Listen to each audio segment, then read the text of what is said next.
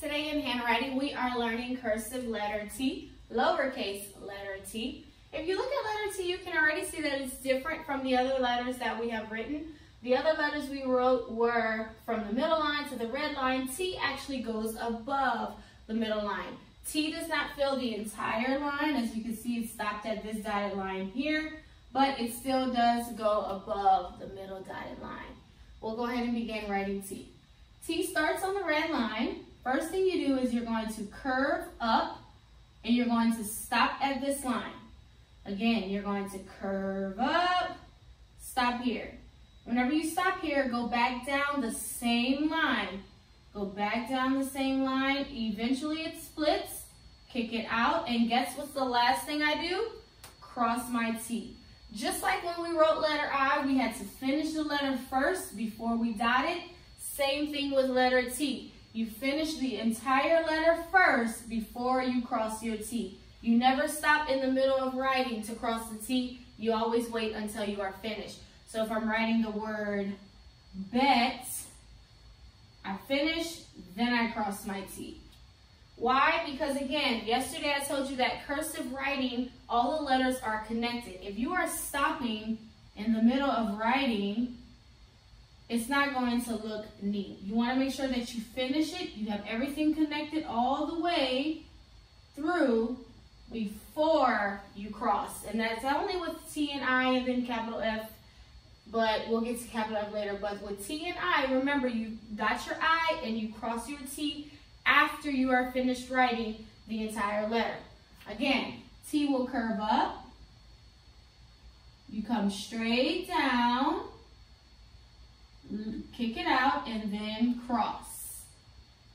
Again, curve up, straight down the same line, then it will kick out, then you cross. Straight up. This is what happens when you don't go down the same line.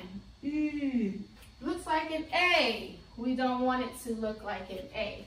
Make sure whenever you're writing T, the same line that you go up is the same line you come back down. It does split whenever you get to the bottom, but you don't try to split it.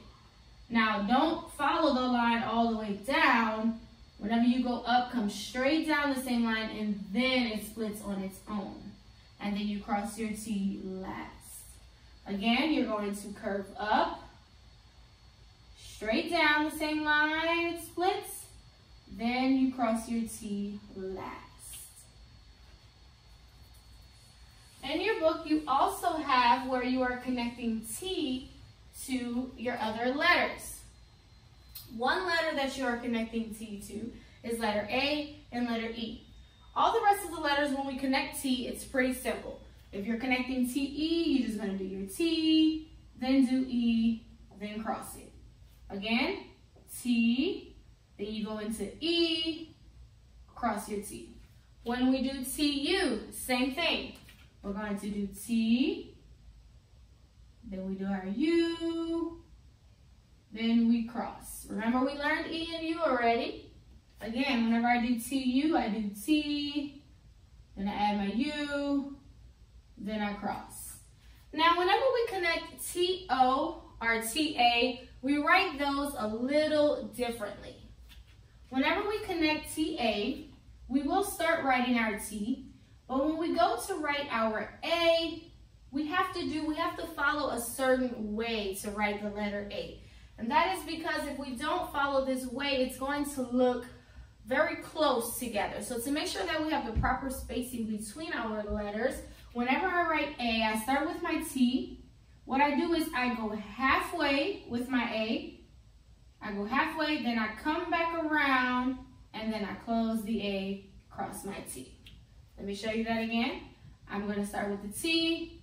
When I start to do A, I go halfway, then I come back around, finish off my A. This is what happens if I don't follow that rule. So if I just write A the regular way that we learned it, it doesn't look too good and it's very close. And with cursive writing, you want to make sure that your letters are split apart from another because they are connected. They have to have good space between them so that you can read it and so that someone else can be able to read it. You don't want it to be too close.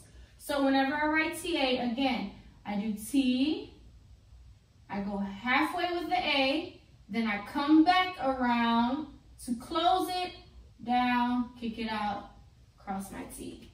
the same rule applies whenever I do T-O. Same exact thing. I start with the T, I do O halfway, I come back around, and then I loop the O out. Just like I showed you on yesterday, how we loop the O, you do that same thing. Again, I go up to do the T, halfway to do O, and then I come back around, loop it out, and it's finished. Anytime you are connecting O or A to any letter, that is how you write it. You start it halfway, then you come back around. But I'll show you every time we do it, but that's a rule to remember. Anytime I connect A and O, I have to go halfway, then I come back around to finish it. Again, I'm going to show you up here. So this is T, then halfway to do A, around, close it, then T-O, T, halfway around to do O, then close it and cross.